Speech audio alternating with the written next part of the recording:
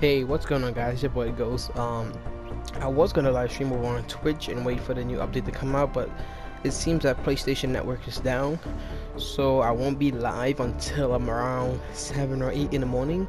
I'ma just go to the computer and do whatever, watch a movie, do something, but yeah, PlayStation Network is down, and for anybody who watched the video, if you're having trouble signing into Fortnite, the reason why is because PlayStation Network is under good management, so it's not working at the moment.